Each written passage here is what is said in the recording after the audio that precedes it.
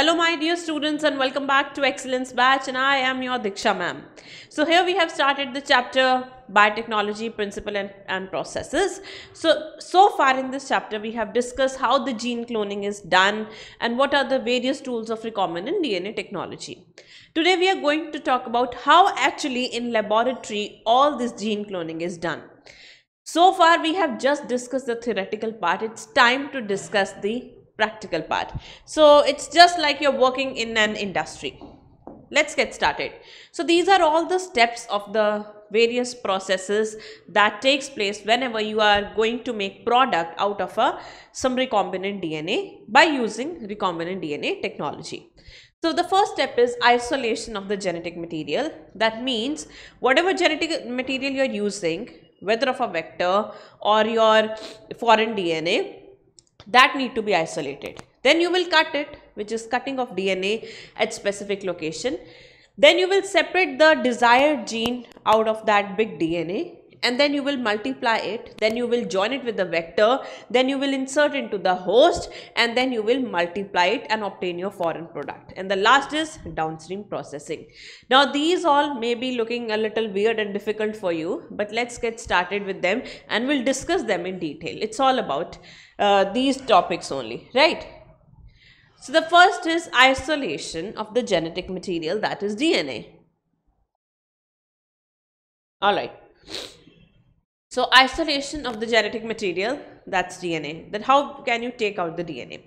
So to take out the DNA, there are various steps. For example, first of all, what we do, we take the cell culture, whatever cells are multiplying. For example, we are multiplying human cells. Okay. So for example, there are beta cells of human inside this flask. Then you will centrifuge it right after centrifugation you will see that a pellet of cell is obtained a pellet of cell is obtained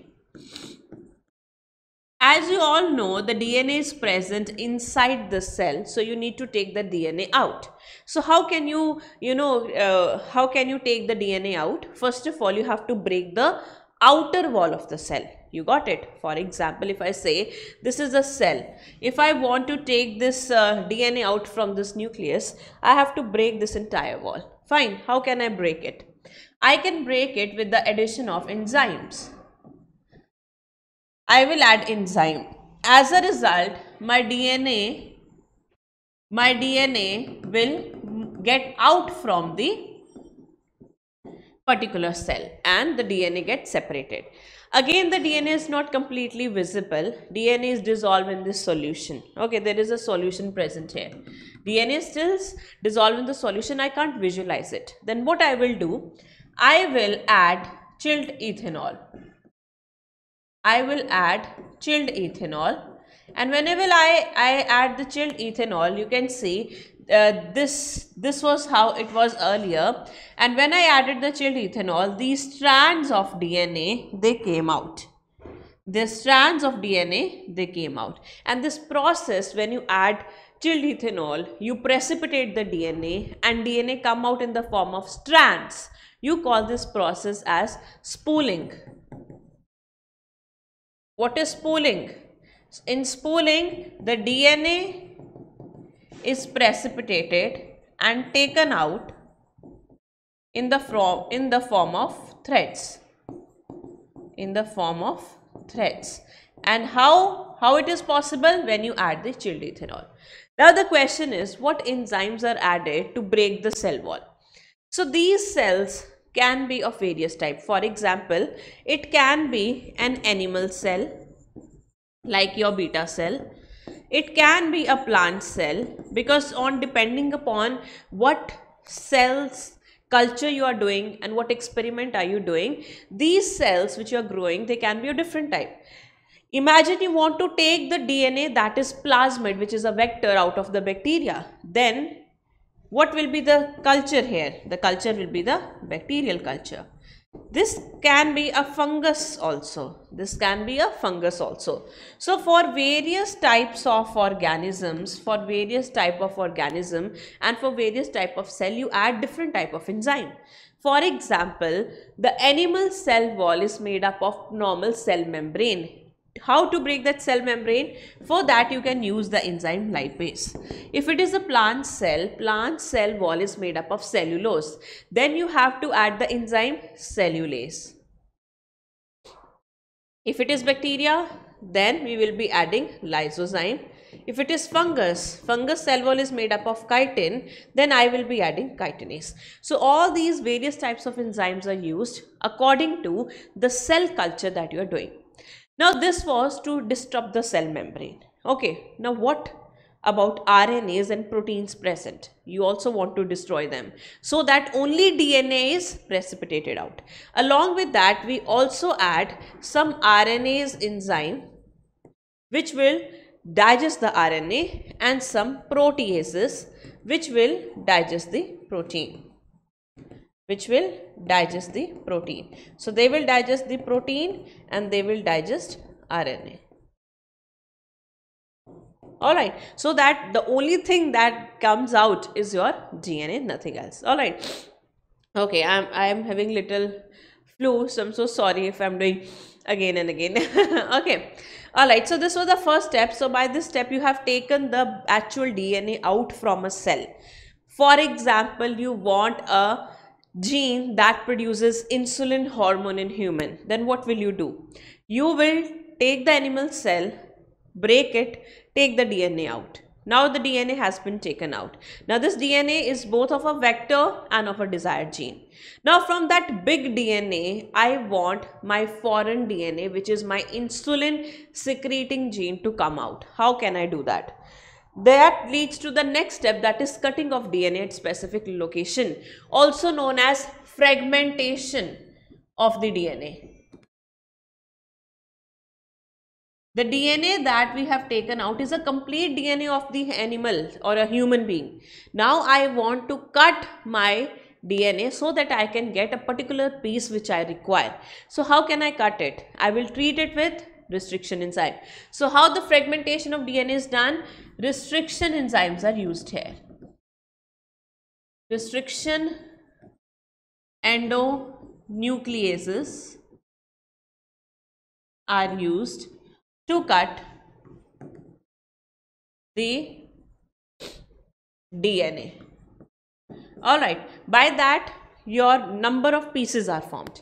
Pieces of DNA are formed. If you don't understand, let me explain you in more detail. For example, this is your entire genome's DNA. This is your entire genome's DNA. You added a restriction enzyme and that restriction enzyme cuts at places. Okay, that restriction enzyme cuts at places. Now the entire DNA has been converted into small pieces of various lengths of DNA. Okay.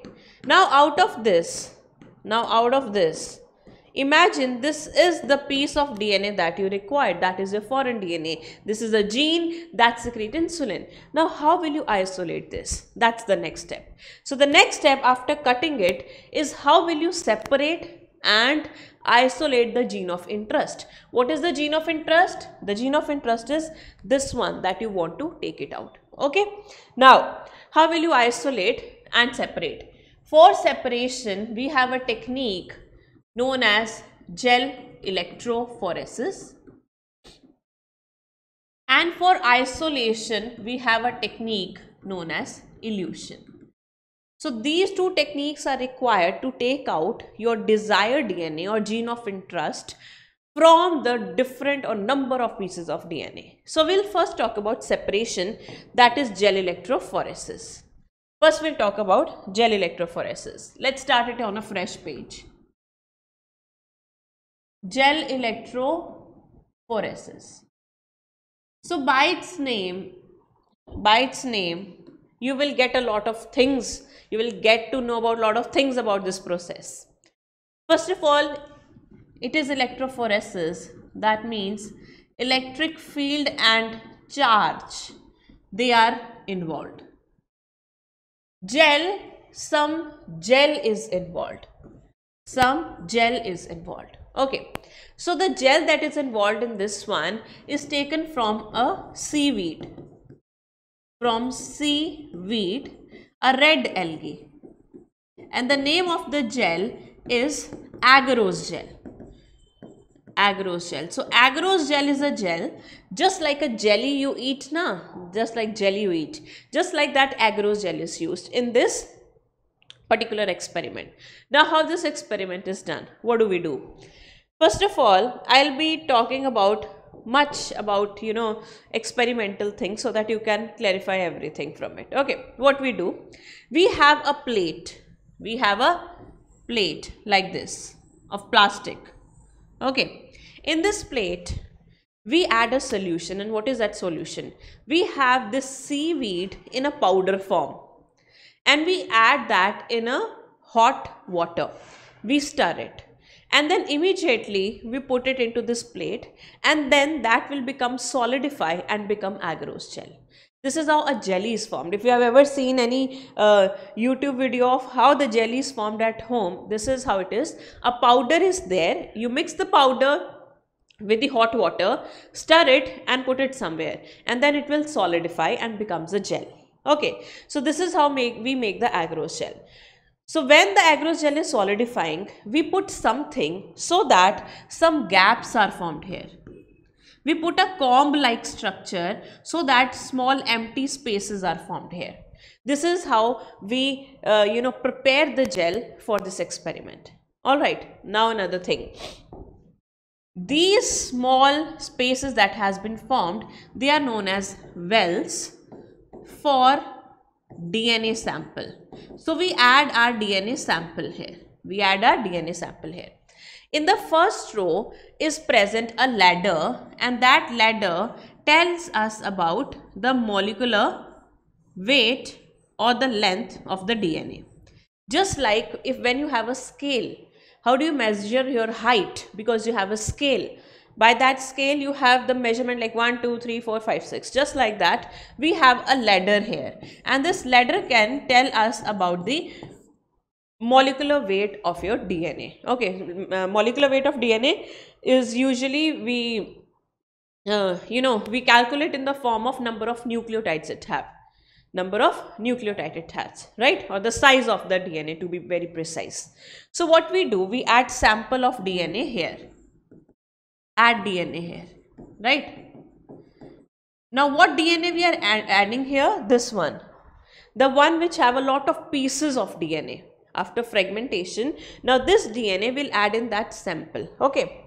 And this has been this has been attached with the electric field. It has a current. At this side anode is present.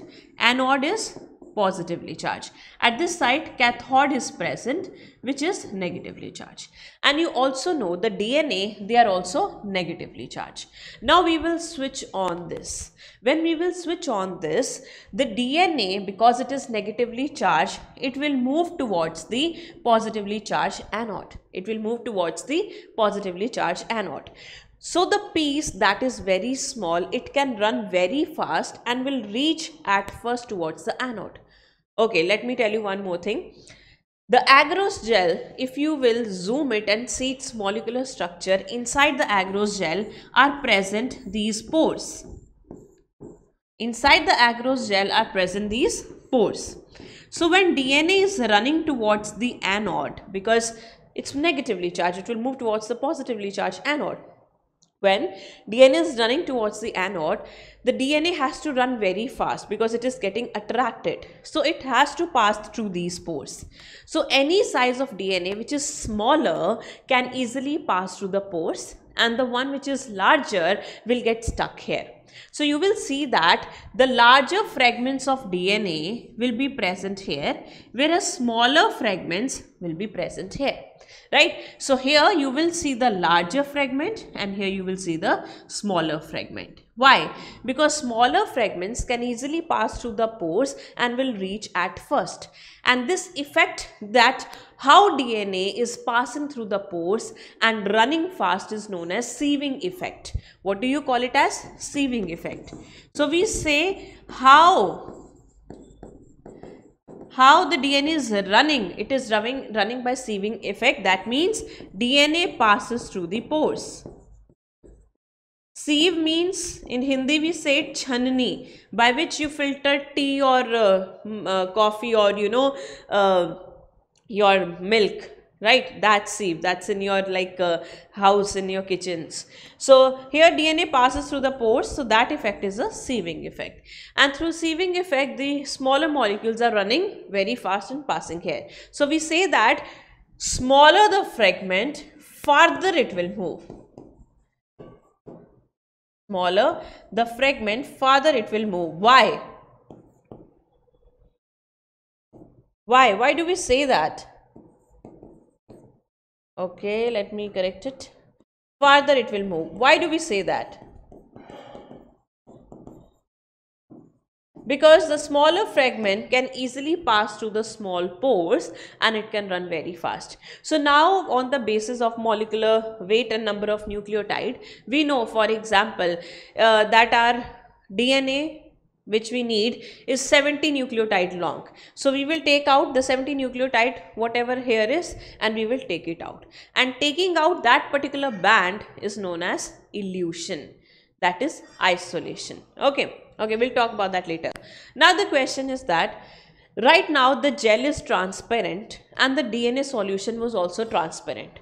So you will not be able to identify the brands running here like that. Okay, because the gel is transparent and DNA solution is also transparent. So it's very difficult, very difficult to identify or see the bands. How can you see the band?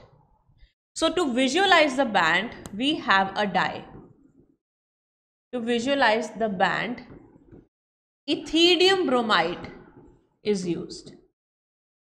Ethidium bromide is used. Alright, so what we do? For example, this is your gel. Imagine this is the color of the gel. Alright. And these are the DNA bands. Can you see any DNA bands here? You cannot. You cannot because the color is same. So what we do? We have a machine. We put our gel on this one. We put our gel on this one. Okay. But we put the gel after dyeing. We take this gel. We add dye to it. We add dye to it for example we have a box. We have a box. We dip that gel into that uh, box and that box is containing solution of ethidium bromide. Okay. It's just like uh, it's just like for example i have this gel. Okay. And there is a box with water. And water have ethidium bromide i do like this. Okay. And then i put it on a machine. And this machine will pass uv light will pass UV light. And when the UV light will pass through the gel, the gel will show orange color bands. Which color band? Orange color band. So whenever we want to uh, visualize, whenever we, uh, we want to visualize the bands, ethidium bromide is used, which is a dye. Dye and it gives orange color bands orange color band. But it will only give orange orange color bands whenever exposed to UV light. When exposed to UV light. Otherwise it will not show you the color. It will only show you the color when the UV light is passed. Alright so that's about how we separate with the help of gel electrophoresis. Next thing is elution how will you isolate it Elution is a process that we use for isolation. What we do? For example, this is the gel and in this gel, this is the band that we want to take it out. Then what we will do? We will make a cut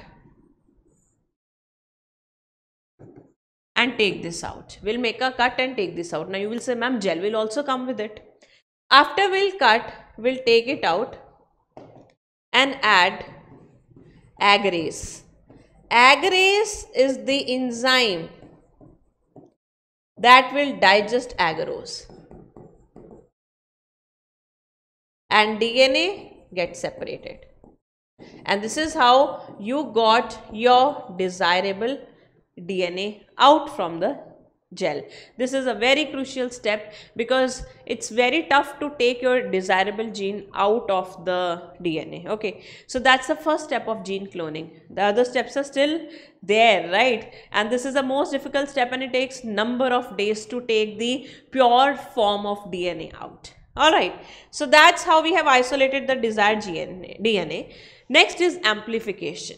So how can we amplify a gene of interest? So the gene of interest of foreign DNA that we have taken out is very small in quantity, but we want to make a lot of product out of it. For example, if that gene was insulin secreting gene, right? But we want to pack the insulin in bottles and want to market it and spread it to the people who are diabetic, right? So for that we need large quantity. So how that small quantity of gene, that one band, of gene can produce large amount of uh, quantity of insulin. It's impossible. So we want to multiply it and that what is amplification and that what is amplification. Amplification means to multiply that gene and we can multiply with this machine and the name of this machine is thermal cycler. And the technique that we use to multiply the gene is PCR PCR stands for polymerase chain reaction. PCR stands for polymerase chain reaction, right? So for performing this experiment, we need to have this machine first, right? Apart from that, we will have to have a DNA template that we want to amplify. That we need to amplify. Okay, like we have taken an example of uh, insulin secreting gene. Second, because DNA multiplication will take place. So it will be just like DNA replication but in vitro. That means an outside condition. So here we will be needing DNA polymerase. But this DNA polymerase is not same as ours. It's Taq polymerase. This is a DNA polymerase of a bacterium which is Thermus aquaticus. This has been extracted from Thermus aquaticus. It's a thermophilic bacteria. Thermo means heat, philic means lover. This bacteria can survive at around 95 degrees Celsius temperature. And in thermal cycler, during experiment, the temperature goes maximum up to 95 degrees Celsius. So we wanted such kind of DNA polymerase which will not get denatured at high temperature. So we extracted the DNA polymerase from this bacterium because it can survive at 95 degrees Celsius. So Taq polymerase can survive at high temperature. If we will use our uh, DNA polymerase, it can survive up to around 40 degrees Celsius and then it will denature, it will get destroyed because this is enzyme and enzymes are made up of protein. But because this bacteria lives in at high temperature condition in hot springs where it is present at hot springs. So we, they found out how this is surviving because it has a survivability. So we extracted its uh, DNA polymerase and used in this reaction. Another thing that we need here in raw material are some ions and last deoxy not last okay deoxyribonucleotides of adenine thymine cytosine and guanine so four type of deoxyribonucleotides are required which are like bricks when you want to make a wall you need bricks so this is what dna is made up of and fifth thing is your rna primer with free oh with free 3 prime oh group Without primer, you all know replication can never take place. So it's just like DNA replication but in vitro. So it's technically in vitro DNA multiplication or replication. Now how it is done, let's understand this in more detail. You got to know about the raw materials? Let's understand this. Imagine in that thermocycler, I added my one DNA strand that I want to multiply. Imagine this is the gene I want to multiply. this is 5 prime end this is 3 prime end this is 3 prime end this is 5 prime end now i will denature this. Denaturation means when you break bonds. And which bonds are present in between two strand? Hydrogen bond. Okay so denaturation because we want to make, break the bonds. This take place at high temperature or 95 degrees celsius. High temperature of 95 degrees Celsius. Once the denaturation takes place, the both the strands will get separated. Alright, so these two strands they get separated. Now that will lead to the next step that is annealing. And for annealing, the temperature of the machine will go down for around it will move uh, down and it will become 50 to 60 degrees Celsius. And now the RNA primer will get added at these end. This is 5 prime end, this is 3 prime end or RNA primer. 5 prime end, 3 prime end. What is RNA primer? This is nothing just small nucleotide sequence which have 3 prime OH group uh, free. So you can see 3 prime group is free here. Okay. Now this will lead to the next step. The next step leads to the DNA replication. When Taq polymerase will come, when Taq polymerase will come and that will ask these RNA primer to add the to add the deoxyribonucleotides to it and start replication in this direction. So this is 5 prime end, 3 prime end, 5 prime end, 3 prime end, 5 prime end, 3 prime end, 3 prime 5 prime. As you all know replication always takes place from 5 prime to 3 prime end. So as a result here it is also taking around 5 prime to 3 prime 5 prime to 3 prime. And that's the third step. And the third step is known as extension. And extension takes place at 72 degrees celsius with the help of enzyme Taq polymerase. All right. Now you will find out that after this two strands of DNA are formed. Two strands of DNA are formed. So you will see after around 30 cycle, after around 30 cycles like this, you can get around 1 billion time DNA of the original. So see, just by one uh, machine, you can multiply your DNA as much as you want. So this is how you can amplify the gene of interest. Imagine this DNA was your gene of interest. Fine. Okay. Now, what are the various application of PCR? Where do we use this technique? Because this is a boom in the micro, uh, sorry, in the biotechnology and it is used everywhere almost. You must have heard of RT-PCR test in COVID. So that's the PCR. Okay, so the first application of PCR is, as I've told you, to detect the pathogen. To detect the pathogen. Detection. Okay. Detection of pathogen. So whenever we want to detect a pathogen we use this technique. Okay. Another for parental issues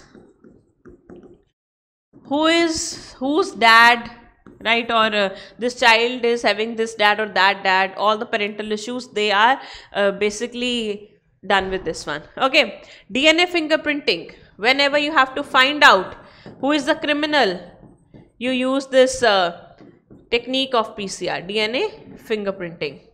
Also in fossils and you call there as paleontology. Paleontology is study of fossil. Whenever you got a fossil, you have to identify its DNA structure. You take a small sample, you multiply it and then you identify it. Okay. So, otherwise, to find out the new species, we can also do this uh, PCR to see any genetic disorders or mutations. For example, a baby is not born and you want to see if a baby is having any genetic disorder or not, we can undergo these technique. So see a lot of applications are there in almost every field of biology of PCR and without that biology is incomplete. So these are the various uh, applications of PCR. Next step is ligation of DNA fragment into the vector. Now as we have isolated, as we have isolated our foreign DNA, This is how we have isolated our foreign DNA. We have also multiplied it. We have number of them. And on the other hand, we also have isolated our vector. We also have isolated our vector. Same way, we also have digested it with the restriction enzyme. Now, we have foreign DNA and we have vector. We want them to join together. Let's join them together. How can they join? With the help of enzyme DNA ligase. So how the ligation of a foreign DNA vector is done with the help of this enzyme known as DNA ligase and then they will become a recombinant DNA. And then they will become a recombinant DNA. Now you know the next step because you have done gene cloning. After they have been ligated, the next step here will be to get it into the host. Yes. So the next step is that insertion of recombinant DNA into the host cell or organism. Now how they will go inside the host cell. So how can we insert our recombinant DNA into our host? Let's see. So the first technique by which we can add our recombinant DNA into the host is a process known as transformation. The transformation is the process by which the recombinant DNA enter into the host organism. Okay, so what's the definition of it? It's a process by which recombinant DNA enter into host. Enter into host. Alright, now for example, if this is a bacteria, this bacteria wants to have this recombinant DNA inside of it. But the bacteria does not know anything about it. So we want to make this bacteria ready and that is known as to make the host competent. So how can we make this bacteria ready or competent? We will first treat this with calcium ions we will treat this with calcium ion. So we are treating it with calcium ion so that this bacteria become a competent host. Competent host is a host that is ready to take up the that is ready to take up the DNA. Alright. Once you have added uh, this calcium ion, we also add calcium chloride sometimes. We also make calcium chloride uh, sorry, calcium chloride sometimes. By this calcium chloride, what happened? This recombinant DNA gets precipitated here. Precipitation of the DNA. Which DNA? rDNA. R means recombinant DNA. Okay. Now what we will do? We will give heat shock. And heat shock is given at 42 degrees Celsius. When we will give heat shock, the pores of the bacteria will get open the pores of the bacteria will get open okay? So making competent and giving heat shock say serves the same purpose. They make the host competent by which the host will open up its pores.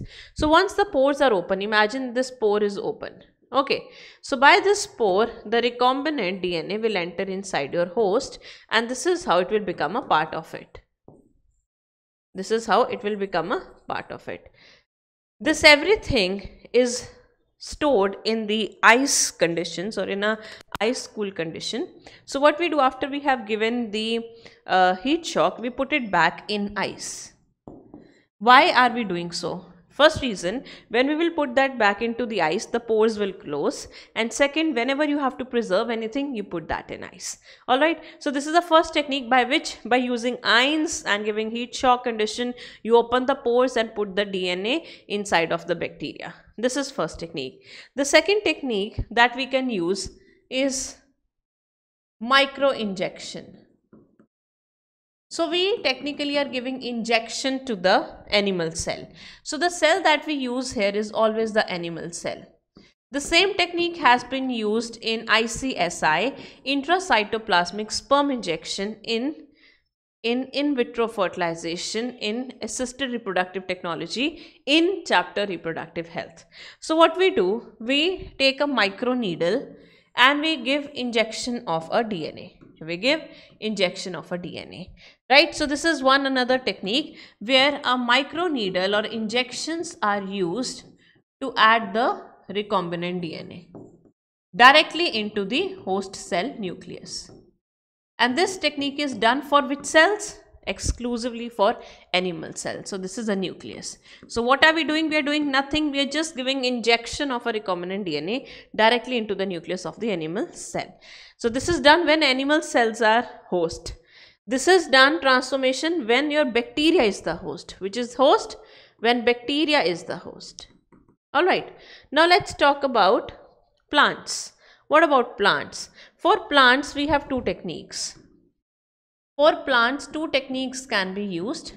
One is agrobacterium tumefaciens.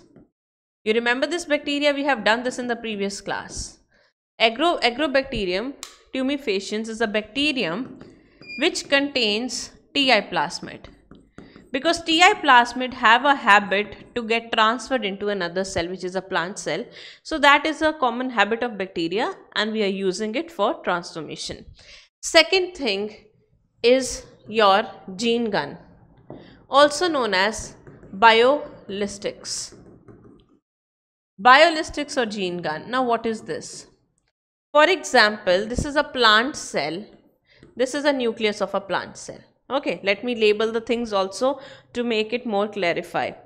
Imagine this is a plant cell and we want that DNA should en enter inside the plant cell. You can't go for microinjection because the cell wall of bacteria is thick, right? So what we use, we use a gun, okay? And the name of the gun is gene gun. Just like any other gun, it also have a trigger. It also have a trigger, okay? So in this gun, we have gold or tungsten particles which are coated with the DNA. Just like a gun have a bullet, right? And we have a trigger. When we press the trigger the bullet will run and go inside a person's body or somewhere. You are you are aiming right? Just like that here your bullets are these. What are these? These are gold or tungsten particles coated with DNA. So just like what we do, the bullet is present inside the gun. Okay so if you will strike the bullet like this the person will never die. Why the person die? Because when you pull the trigger at that time the bullet run at high velocity same thing we are doing here at high velocity we are bombarding these particles and these particles will go inside your nucleus and they will become a part of it. The gold or tungsten can be taken out, can be recovered from the plant cell later on. The DNA will become the part of the plant cell. Another thing, why we are using gold and tungsten? Because they are inert. They are inert particles. So what basically we do in the gene gun, the high velocity particles containing DNA are bombarded. Are bombarded in plant cell. Okay. So these are the various technique by which we can uh, add our recombinant DNA to host cell one more technique that we have is electroporation so what we do here whenever we will give electric current. For example, this is a host cell. Okay, this is a host cell. In transformation, what we were doing, when we give heat shock, the pores open. Just like that, if we give the electric current, then that also pores will open. So in electroporation, electric field is used to open pore. Electric field is used to open pores okay so for example the pore opens when it will open when you will give the electric field or electric current and when the pore will open what will happen? The dna from the pore will enter inside the host cell. Okay so any of the uh, these techniques can be used for transforming the cell or entering the recombinant dna into the host. The only difference is that um, it varies according to the need and the type of the cell. Okay, for example, if the cell is a plant cell, then you will go for biolistics or agrobacterium. If it is animal cell, definitely you will use you will use that microinjection technique. Alright, if it is bacteria, we will go for transformation. Alright, so let's read this paragraph of NCERT. Now, once the recombinant DNA has been added into the host, we also need to check out whether the host has uh, taken the DNA or not.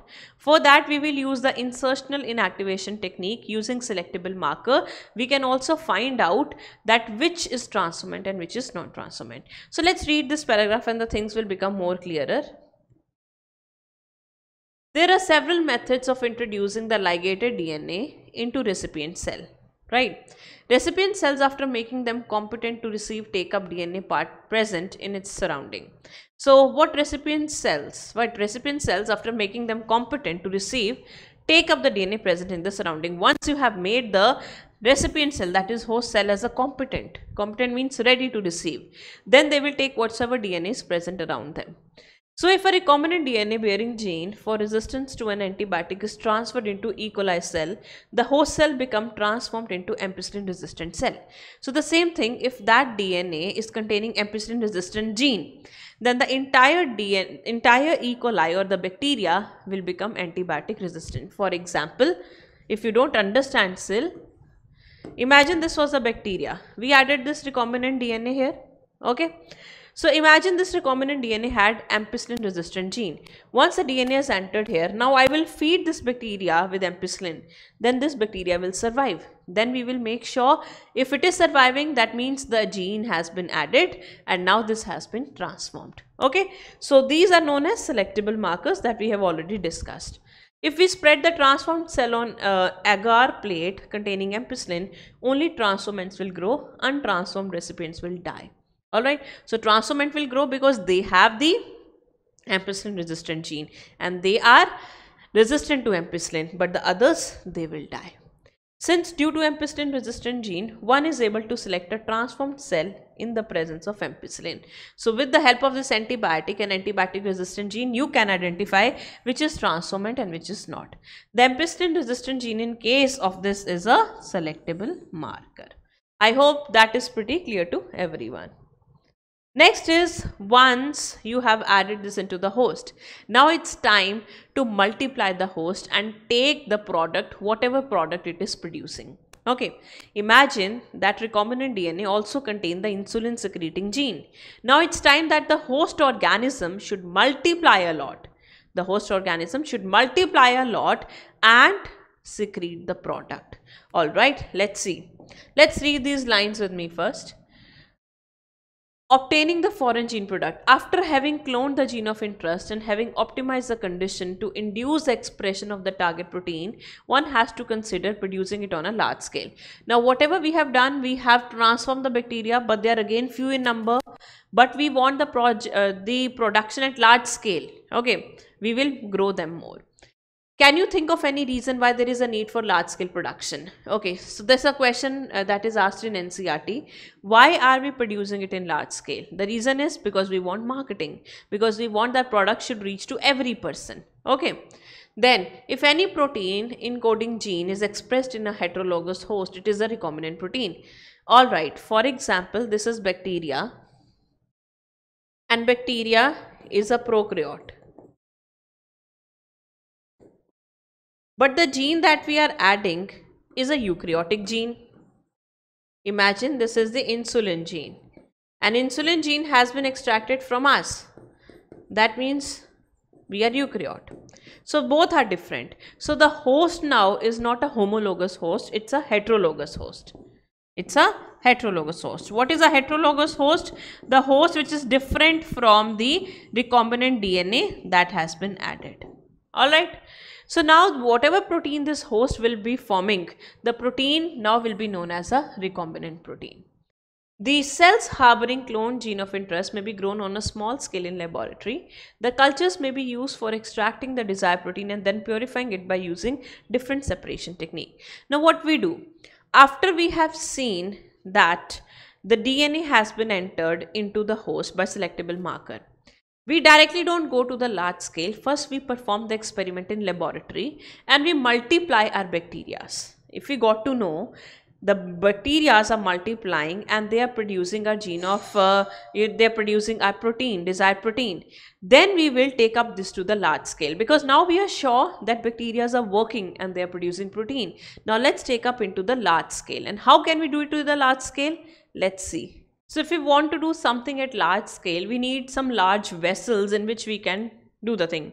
Just like when we cook food at home we cook it in the small vessels right? Small utensils. But when the food is cooked for like thousands people like thousand of people then it is usually cooked in the large utensils and large vessel.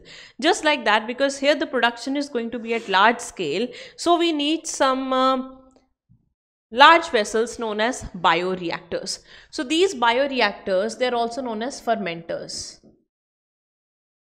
these are cylindrical in shape usually and have a capacity of around 1000 liters. 1000 liters and they are usually modified in a way that uh, they contain all the good conditions which are required to form your product. For example, I want a bioreactor to produce alcohol or I need a bioreactor to form insulin by the growth of E. coli bacteria. Then I will purchase a bioreactor which is appropriate for the growth of E. coli. Right. So for example, they will have agitator system. Agitator means the stirring system by which the substances they can be stirred. Okay. They have stirrers as I've told you for stirring they have pH control system by which the pH of the solution can be controlled.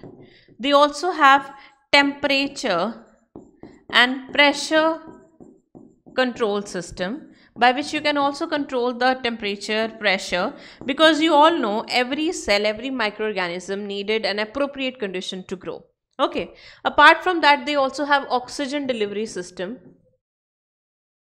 by which you can uh, deliver the oxygen from a port so that the bacteria if they need oxygen for their growth they keep on getting the oxygen. Apart from that they also have forming form breaker system. If during this process the solution makes a lot of form we don't want that because that will take a lot of space in the bioreactor then that form can also get break so such kind of systems are present in these large vessel and in them we produce large quantity of our products. Okay, let's see how are these. So there are two basic types of uh, bioreactor and both are stirred type. Stirred means there will be something that will help in stirring the components. There will be something in that that will help in the stirring. For example, you can see this is the thing which helps in stirring this is a thing that helps in stirring. Stirring means to mix something. Okay. Apart from that, we also have a form breaker that will break the form. Flat bladed impeller that will rotate at a faster rate to mix the things. Then what is present inside that is a culture broth. What is a culture broth? The solution in which you keep your bacteria so that they can grow. Then we also have a pot where we add the steam for sterilization. We will make sure no extra bad fungus or microbes will grow and only our product will be formed. So for that we will keep on sterilizing them by time to time. And then they also have acid base or pH system and here it is for pressure. You can see the base is a little curved. This one which is the first bioreactor, it has a curved base. And the name of this bioreactor is simple stirred tank bioreactor. Simple stirred tank bioreactor have a curved base so that the things can mix easily. If the base would have been not curved if it would have been flat then it will be very difficult for things to get mixed. They rather get accumulated here. Okay? Then we have the another one. Sparge stir tank. And sparge stir tank have a very special thing. This is sparger. Though it have the stirrer which will stir the things but it has a special thing that is sparger. What is a sparger? Sparger is a big plate and this plate have small holes. So whenever this sparger will move in this direction it will from this the culture will pass and small bubbles will be formed Basically, this is present there to form small bubbles and break the big bubbles. Okay, because if you have big bubbles like this, then the space left for oxygen in the culture broth will be very less. For example, if you have a destinated space of this much, then you can see in this only small amount of oxygen can get trapped. But if I have same space, if I have same space and I have small bubbles, then the space for oxygen will be more. So the function of this sparger is to make small bubbles. You can read it here. Increase surface area for oxygen transfer. Bubbles uh, dramatically increase the oxygen transfer area. So the function of the sparger is sparger will make small bubbles. Will make small bubbles. So that you can have more surface area for oxygen because big, big bubbles will give you small surface area for the oxygen. But we want more surface area for the oxygen. So this is how small bubbles are the better option. Now you can see how much oxygen can move. Alright, so these type of tanks are used. So what type of industry you are in, what type of product you want to make, you can buy many type of bioreactor. So market is flooded with them. Okay. Alright, so this is how we produce the product. So now when we are making the product, we want to make cultures. Okay, for example, if this is E. coli and E. coli contains my insulin secreting gene, then the culture for that bacteria will be different. If I, sorry, if I am growing some other microbe, the culture for that will be different. Okay, so just like that, we also have different kinds of culture. One such kind of a culture is a closed culture or batch culture. Alright, another type of a culture is open culture or continuous culture. And the third type of a culture is fed batch. Is fed batch culture. So what happened in the closed culture? Closed culture is usually seen in alcohol fermentation. What they do, we take a they take a bioreactor put a fixed concentration of culture broth in it. For example, this bioreactor have the capacity of 1000 liter. So they will add 1000 liter of the culture and then they will close it. They will close it. Now after some days they will open it and take out the product from it. And then they will wash the bioreactor then add the next batch. So the production of the things is occurring in the batches after completion of uh, production of every batch, the bioreactor is washed and get ready for the next batch. This is what happened in the close. So what happened in the close? The quantity of culture remains fixed. Quantity remain fixed. And it is used in batches because here you close the lid that's why it's a closed culture. It's a closed culture. So one batch then again second and then second. The negative thing about this is that because you are not interrupting what is happening inside of it you're not adding anything you're not checking whether oxygen is there or not whether the nutrients are there or not. So what will happen eventually after some time when the bacteria is multiplying after some time when the bacteria is multiplying its toxin will get accumulated. Toxin get accumulated. And when the bacteria's toxin get accumulated the growth reduces. The growth reduces. Okay second we have is the open or continuous culture Open or continuous is better than this one because here we are not letting toxin get accumulated. How? Let's see. What we do at one side in continuous we are adding new culture and on the other hand we are taking out the product. So when we are taking out the product the toxin will not accumulate here the toxin will not get accumulate here. But the thing is that there is no fixed concentration no fixed quantity. So the wastage of the culture is more here. There is no fixed quantity. But the thing is that toxin will not accumulate because after interval you are taking out the product from here. So when you are taking out the product the toxin will also get removed along with that. So toxin will not accumulate.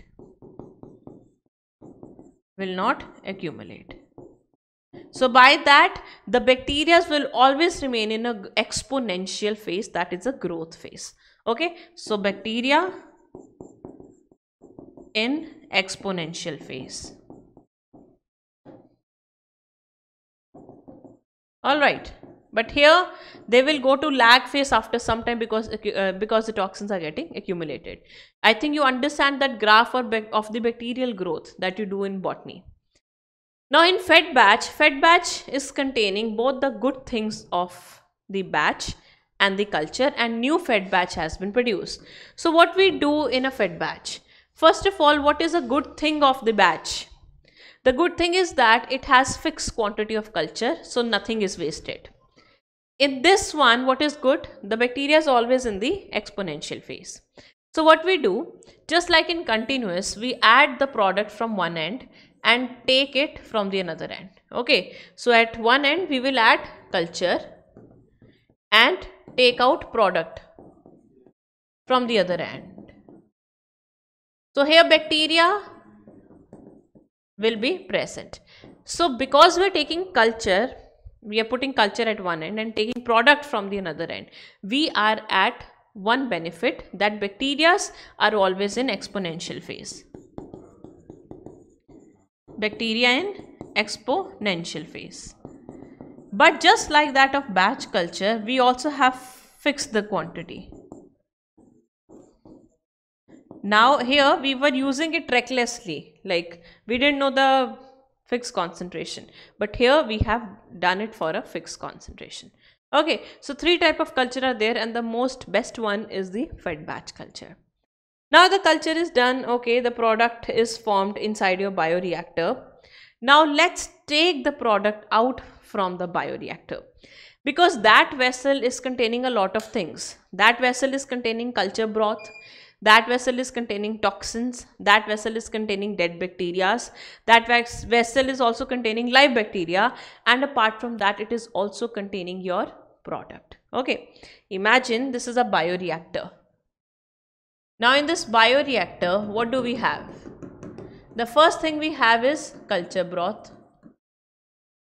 In culture broth, we also have toxin. We also have dead bacteria. We also have some live bacteria. We also have other waste products. And we also have our desired product. For example, insulin hormone. Now we want to take this desired product out. What will we do? We will go for separation techniques. And the separation techniques involved many techniques. First of all, what we will do, we will do the simple, we'll start from the simple one. We will take solid out, liquid out. Okay, we will do filtration we will do filtration. We can also do centrifugation so that the product gets settled down according to their sedimentation rate. Okay? We can also go for distillation in which according to their melting point the boiling point according to the boiling points the products can be separated. We can also go for chromatography. This is the another technique by which usually proteins are separated by which proteins are separated. So all these separation techniques are done and the product is taken out. Product separated. Now once the product is separated, what you do? You do packaging of it. You do packaging of it. But before packaging, right, we add anything that we need like we add preservatives. If it's a food material, we add preservative or any other things. Then we will store it right now it will go to approvals. It will go for approvals. For example, a lot of drugs they go for approvals before going to the markets. Once the approvals are done, the quality check is done, approval and quality check is done. Then it will go to the market so that people can get it. So this is down, this is how the entire process is done in your industry scale. So these certain last steps are done for every product, whether it's a food product. If you have seen food factory in your, the discovery channel, I guess there is a show, you'll get to know that in a better form. Fine. So this is how you can uh, separate the product, package it, store it and uh, check its quality and then market it. All these steps they come under downstream processing gene expression producing the product all these things they come under upstream processing. Like we have like we have done all these things right? Like we have done all these steps. All these steps from first to seven all these steps they are the part of upstream processing. But separating the product packing it quality check everything is under the downstream processing Alright, so this is how you can produce any product a, at a laboratory or at a large scale, factory scale, right? And this is how they come to your house uh, and you use them. And this is a boom because uh, many people who are suffering from a lot of diseases they get the therapeutics just by these techniques by these factories by these people you get vaccine by these technique you get insulin by these get uh, the, these technique. You get hormones by these technique. You get interferon injection. You got antibodies injection by these techniques right? So that's why they are very important. And uh, if you want to have your career in this go for it. This is a very nice field of biotechnology. You can go for pharmaceuticals. You can go for production of drugs. You can go for vaccination production and everything. So that's about the first chapter. In the next chapter we will see about where these techniques are applied a lot and you will get more insight of it so that stay tuned to our channel and uh, We'll meet in the next class. Bye bye. Take care.